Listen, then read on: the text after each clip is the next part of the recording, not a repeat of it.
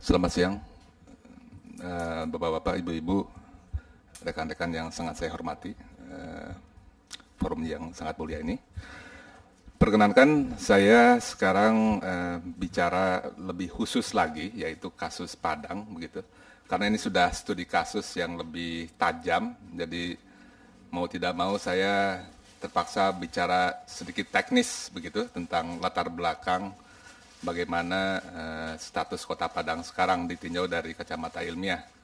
Tapi tentunya dalam forum ini saya tidak akan membahas terlalu ilmiah, tapi bersifat untuk menginformasikan usaha apa, uh, usaha ilmiah apa, penelitian apa yang sudah dilakukan, sehingga paling tidak kita ada satu uh, pengetahuan bahwa pengetahuan kita tentang Padang itu tidak eh, tidak dibentuk hanya dalam beberapa bulan bahkan satu dua tahun pemikiran, tapi ini satu proses yang cukup lama. Jadi kebetulan di Indonesia memang Sumatera ini wilayah yang paling banyak diteliti. Kami sendiri dari LIPI yang bekerja sama dengan banyak institusi asing dan juga uh, institusi di dalam negeri sudah mulai penelitian gempa sejak tahun 90-an begitu. Saya sendiri untuk S3 saya uh, juga di Sumatera dari tahun 8, uh, 8 85 waktu itu sampai 2003. Jadi termasuk cukup lama juga itu 8 tahun untuk S3.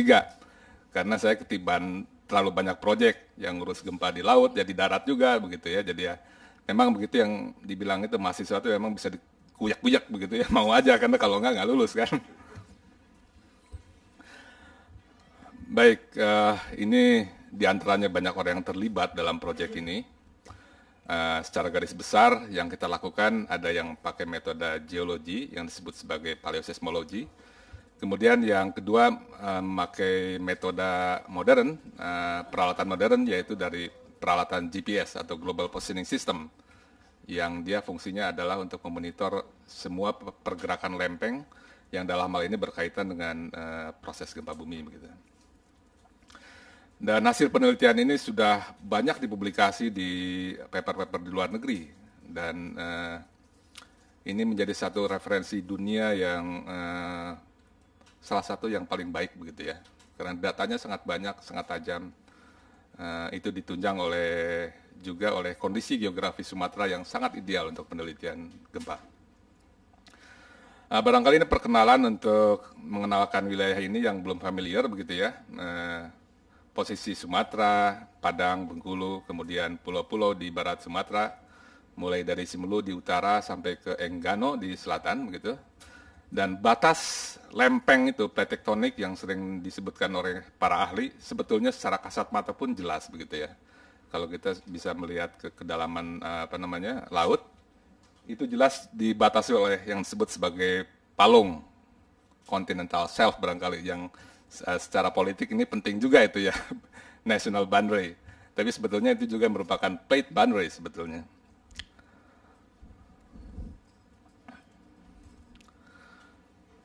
Baik. Nah, ini dari segi historis, jadi dari historis saja, dari sejarah kita tahu bahwa di wilayah sini sudah cukup banyak gempa besar di sana, termasuk yang tahun 97, 8,4 dan 1833 itu 8,9, jadi hampir 9. Jadi pernah terjadi gempa yang hampir 9 di barat eh, Padang gitu. Nah kalau kita perhatikan di utara itu, di Laut Andaman, Aceh ke Andaman tuh hanya dua kali yang tercatat di sejarah dan eh, skalanya hanya 7,9. Nah, kemudian sejak 2000 ta uh, tahun 2000 di situ banyak sekali terjadi gempa. Ini adalah uh, gempa Bengkulu tahun 2000 yang kita tahu. Kemudian disusul oleh gempa 2002 di Semelu. Nah, kemudian disusul yang besar itu, yang Andaman, 2004 dengan skala 9,15. Jadi memang ini cukup surprise uh, bagi para ilmuwan karena tidak ada historicalnya begitu ya. Ini menunjukkan bahwa hanya data historis saja tidak cukup, harus ada data lain dalam hal ini geologi. Nah, kemudian yang kuning itu yang kita sering publikasikan ke masyarakat bahwa Eh, setelah gempa tahun 2005 dengan skala 8,7 yang kuning itu yang akan berpotensi selanjutnya begitu ya. Itu sering kita katakan uh, sejak setelah terjadi gempa Aceh. kita khawatir Nias akan lepas dan ternyata memang lepas begitu. Kemudian uh, selanjutnya kita bilang wah Mentawai ini gilirannya begitu. Dan ternyata memang lepas juga tahun 2007. Nah pada waktu itu juga banyak rumor yang mengatakan bahwa ini kan sudah lepas 2007, oke okay, sudah beres sekarang, uh, Padang aman.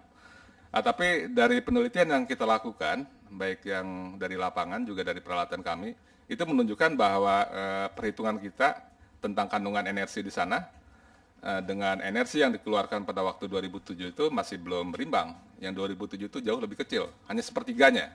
Artinya yang dua pertiganya masih tersimpan di sana sampai sekarang. Nah ini sekedar memperlihatkan bagaimana proses alam di Sumatera begitu ya. Jadi sumber gempanya itu yang yang merah itu yang disebut lock terkunci begitu. Karena yang oceanic crust itu dia mendesak ke Sumatera sekitar 6 cm per tahun. Nah yang terkunci itu yang mengumpulkan energi gempa. 6, 6 cm per tahun dalam 200 tahun kan sudah berapa? Sudah hampir 6 200 tahun sudah 12 meter begitu ya. Kalau 12 meter dilepaskan itu sudah 9 udah hampir 9 itu. Jadi hitung-hitungannya sebetulnya simpel begitu ya. Kita mengakumulasi apa namanya? memperhitungkan seberapa besar potensi besar di sana. Nah, pada waktu sebelum gempa biasanya begitu. Jadi gerakannya itu si berut ke arah Sumatera, kemudian kita lihat eh, pulau-pulau uh, itu tenggelam pelan-pelan. Nah, kemudian kalau pada waktu gempa sebaliknya, dia melepaskan sehingga yang si brut itu dia naik bisa sampai 3 meter seperti halnya Pulau Nias bagian barat yang juga naik uh, sampai 3 meter pada gempa tahun uh, eh, 2005 begitu. Nah, sebaliknya seperti Kota Padang, dia di daerah yang nanti akan uh, turun. Saya nggak bilang tenggelam ya kalau tenggelam nanti lain lagi konotasinya. Turun sampai satu satu meter sampai satu setengah bisa itu bisa. Dan itu juga sudah kejadian pada waktu gempa Aceh 2004 itu kan daerah Calang ke barat itu turun sampai 2 meter Pak. Banda Aceh itu turun permanen setengah meter, itu tektonik. Nah ini salah satu bukti alam, waktu eh, ini saya ambil waktu pakai helikopter uh, survei setelah 2004 begitu. Nah, kita lihat ini di barat Nias, kita lihat ada perkebun bukan perkebunan ini, ini pohon kelapa Pak. Jadi pada waktu itu dia sudah tenggelam di bawah laut dan kita tahu pasti uh, petaninya menanam itu tidak di bawah laut kan, tadinya dia di atas, dia tenggelam pelan-pelan. Ini sebelum 2005. Nah, kemudian setelah terjadi gempa 2005 maka dia dibawa di tengah pulau lagi begitu. Jadi memang kalau kita bisa terbang ke atas menyaksikan proses alam itu memang luar biasa dan ini nyata begitu ya, bukan satu imajinasi kita. Baik, uh, ini adalah penelitian kita di, uh, tentang karang yang di sana. Jadi ini salah satu metode yang kita lakukan begitu. Uh, makhluk ini dia punya kemampuan yang luar biasa karena karena uh, pertumbuhannya itu dia merekam turun naiknya uh, muka air laut. Dalam hal ini adalah turun naiknya permukaan begitu ya. Sangat sensitif. Sehingga uh, singkat kata karang-karang di Sumatera Barat ini dia merekam uh, waktu pulau ini turun kalau air lautnya naik kan berarti kan turun sebetulnya waktu air laut itu naik atau pulau-pulau itu turun, kemudian pada waktu gempa besar pulau-pulau itu naik. Jadi berbeda-beda, ada yang naik sampai 50 cm, ada yang sampai 2 meter dan sebagainya. Tapi hanya dengan sebuah karang ini dia bisa menceritakan bahwa pernah terjadi gempa besar tahun 1797 yang menaikkan pulau sampai 50 cm dan kemudian pulau itu turun lagi, kemudian disusul lagi oleh gempa besar tahun 1833 yang menaikkan pulau ini lebih dari satu meter, kira-kira begitu. Nah tentunya pekerjaan ini satu pekerjaan yang cukup banyak begitu ya. Jadi uh, ini dihasilkan setelah menganalisa puluhan koral begitu ya, puluhan koral dan puluhan analisis di laboratorium untuk untuk uh, menentukan umurnya begitu. Jadi ini uh, gambar ini yang mungkin terlihat sederhana tapi ini hasil penelitian kami selama lebih dari 15 tahun begitu ya, akumulasi datanya. Uh, uh, secara umum menjelaskan bahwa di Mentawai sejak tahun abad 14 1350 ini pernah terjadi gempa besar dengan magnitudo uh, sekitar 9 begitu. Nah, kemudian tahun 16 ribuan itu juga pernah terjadi gempa besar berkali-kali begitu, tidak sekali. Dan kalau di uh, di apa namanya? Uh, dijumlahkan dia mengangkat pulau sampai di sini sampai 1,2 meter di sini ya, ini di lokasi ini. Di sini sampai satu setengah meter begitu.